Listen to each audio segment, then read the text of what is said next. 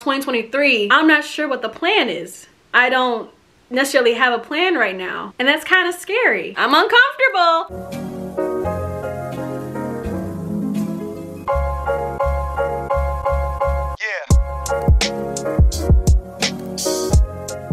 Hey, how you doing?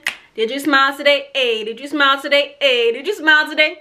How you doing? Happy Black History Month and happy 2023. Does anybody else's 2023 really start in like February and not January? January is kind of meh. It's kind of long. It's just, uh, how y'all been? This is gonna be a life update. I'm just gonna be talking while I do my makeup to film some TikToks. Shout out to my little sister for giving me all new makeup products. I'm so excited. This is the Milk Hydro Power Grip. You know, the one that everybody be talking about. This is only my fourth or fifth time wearing this. I don't do my makeup every single day. It got that bounce, that little grip power that's supposed to be having. It got that. Fenty Beauty Concealer. But how y'all been? How y'all doing? Okay, as usual, we have to start with the previous year recaps. 2022. Mm, mm, mm. A lot has happened. While I wait for my concealer to dry, I do have my planner here. I always write down my yearly goals and let's just go over my 2022 goals that I wrote down. Earn my MFA in fiction writing, you guys. I graduated. I graduated in October. Yeah, yeah, I did it.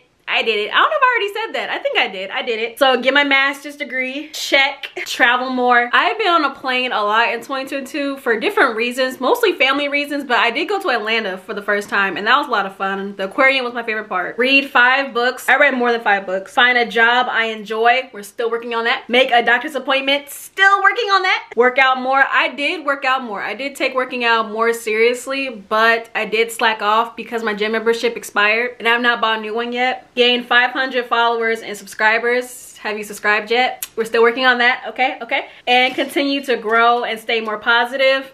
The positive thing I was so positive until September. Let's just get into it. Let me take y'all into my mindset for a minute. 2022, January. January was pretty good. January is always like pretty long to me. February, February was good. You know, black excellence. I got to meet a lot of black writers on campus I did not know were there. March, April, that's like the end of the seasonal depression. So it's kind of like a bittersweet, like it's a lot of up and down days, especially with like daylight savings. May was pretty down, but I tried to stay high because I was moving out of New York and I was really sad to move out. I was gonna miss my friends a lot. Rent was just getting higher and higher. At last minute was like, actually landlord, I kind of want to stay, but then my landlord was like, too bad, we already gave your apartment away. So I was like, oh. I don't like talking about it. Oh my gosh, I don't I don't want to say it for real. I just felt something. I don't really want to say it, but my parents got a new house. So we moved from my childhood home. I've been at that house all my life. Grew up there. I've been at that house since 1997 until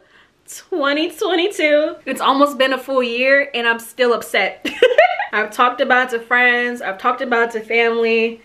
I've tried to get over it, but this new house, it just doesn't feel like home.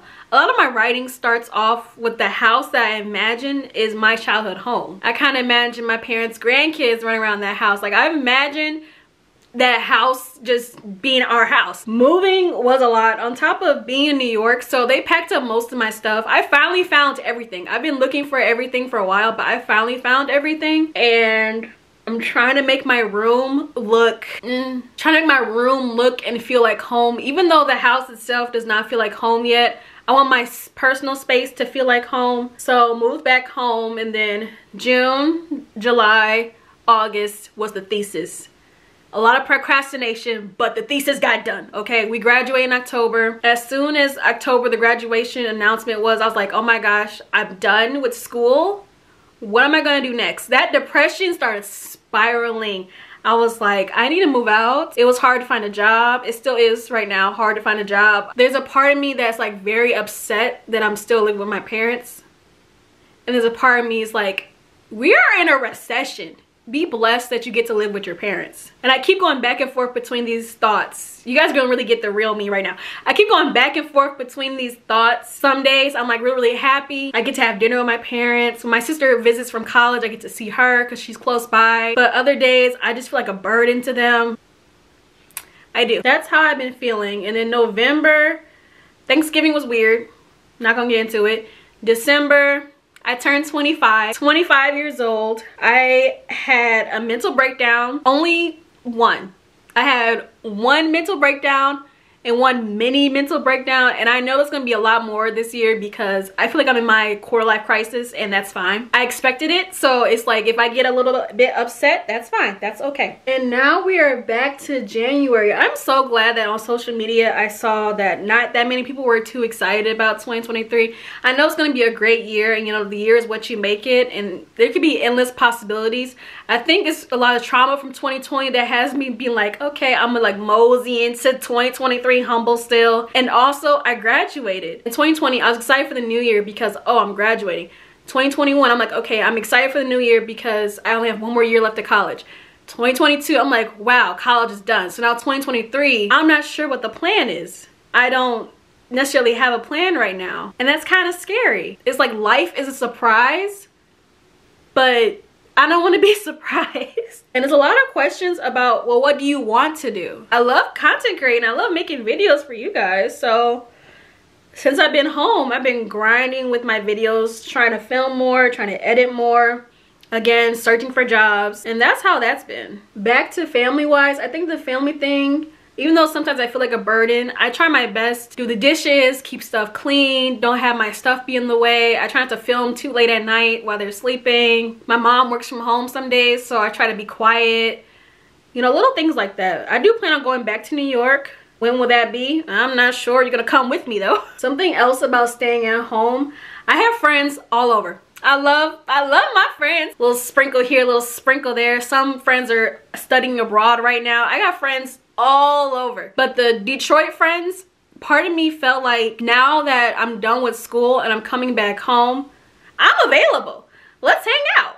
And I forget, sometimes you have to remember that not only should you not put people on a pedestal, but they have a life outside of your friendship. And I feel like a few friendships might get tested this year. I'm kind of nervous about that, but I feel like a few friendships might get tested this year because whenever friends went MIA on me, let me blend this out so I get to the next thing. Tell me you cannot multitask without telling me you cannot multitask. Oh my goodness. What was I saying? I feel like a few friendships might get tested because before, whenever friends went MIA on me, it was usually, oh, well, you're focused on school, so I didn't want to bother you.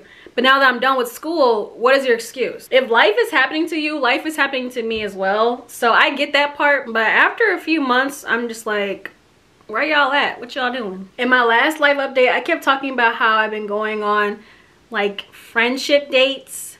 And they've been so fun. But let me talk to you guys about like actual dating. I haven't, mm, I don't want to say I never dated before. I would say because I don't want any of the exes to be like, well, I did I don't want to hear that.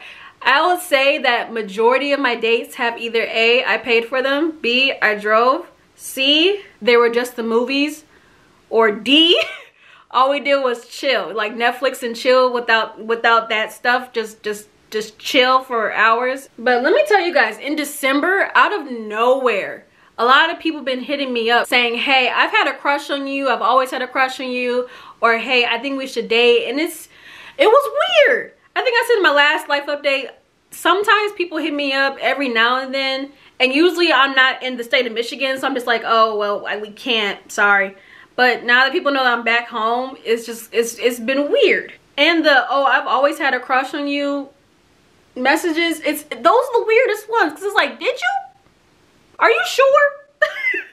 Like, I know I'm cute, but are you sure you've always had a crush on me? Because I didn't know. Let me not add too much. This is the bronzer, the Juvia's Place bronzer in the color dark. And I'm also using their mirror. I'm not exactly sure where to put bronzer. I kind of just like put it where I would put contour. I stopped using my contour palette ever since I got this palette. This is the blush palette in volume 5. I love me a little. I've been loving blush more and more lately. I probably wear too much, but I love blush. But back to this weirdness. So you telling me that you've always had a crush on me but for some reason you just decided not to tell me until recently I don't know. I asked my dad about it because I am a daddy's girl. And my dad said around this time, like around this age, that's when a lot of people from your past will start to like try to weave back in and like just just weave back in and it's up to you to decide who to who to weave out. And it just caught me off guard for a minute. I was like, I'm flattered, shocked is speechless. But it got me thinking though, am I ready to start dating?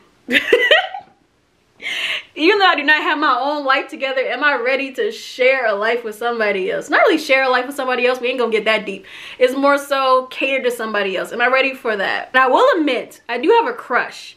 It's very hard for me to distinguish do I like this person or do I like the idea of this person? And a lot of my dating history starts off as friendships. So it's like, are we just extremely good friends? or do I actually like really, really like you? And I guess that kind of, I wonder if that's what they're going through. That's why they said, hey, I've had this crush on you and I didn't know when to tell you because we're friends. Wow. I never, I didn't, I never thought of that. I don't know. I do know this. If I start dating, I want it to be like fun dates. Like the idea of the whole, that's a lot. I'm blended out.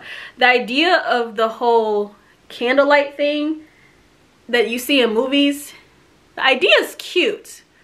But then you have to wait for your food and the awkward conversations and what if you don't really click like that? And I need some interactive dates. I need something where we're moving. Like we're distracted, but we could also have a conversation. Like, can we go bowling? Can we do a pottery class? Can we do a cooking class? Can we do go-karting? Like, stuff like that. I need to be active if I'm gonna date somebody. But until then, I'm gonna continue to go on my friendship dates when I can because I love it and I love spoiling my friends. Even though sometimes they'd be like, oh, you're doing too much. I love spoiling my friends. My friends tell me so many dating horror stories that it kind of makes me a little bit nervous. But that's why I want the fun dates. I need something genuine. I can't just I don't want to just kick it. I don't want to just talk for hours and not see each other in person. I've done the long distance thing, never again. Not the camera about to die, I'll be back. What we learned today, kids, I cannot talk and multitask at the same time. While my camera was charging, I decided to add these beads. It looks so good. I'm feeling myself right now. Look, look, look, look, look, look, look, look. I was kind of getting kind of nervous because while I was talking, I was looking at my makeup like, do I for, did I forget what I'm doing? But I know what I'm doing. I've only recently become a lip liner girly. This is the NYX lip pencil in the color Espresso. I used to be against lip liner because I thought it didn't look good on me. I liked it on other people, but I didn't like it on me. And then I realized I don't like black on me. I need like a brown color. So this is like a nice rich brown. I like to fill in the cupid's bow to look like Shego or Kim Possible, the Shego Kim Possible vibes. That's what I love. I just recently bought this and I have no idea how it will look. So let me take the tape off. I saw this on TikTok. The NYX Shine Loud Never Basic. And it's like the color and like a clear gloss. I cut my nails off. Do I need scissors? Mm. Ow. Okay, I got it open. Ooh, this looks like a reddish brown. This looks nothing like the packaging. This is the clear gloss, right? Yeah, it's the clear gloss. Okay. We trying something together. Hold on, hold on. Please be cute. Why is it so red? Am I supposed to shake it? Why is it, why does it look so red? I don't like that. Okay. I'm still gonna use it, but I'm gonna use it like kind of as like a lip stain. Okay, it looks more brown in person. And that was weird. Okay. My usual go-to is the butter gloss but i'm actually going to use the fenty heat. What color is this?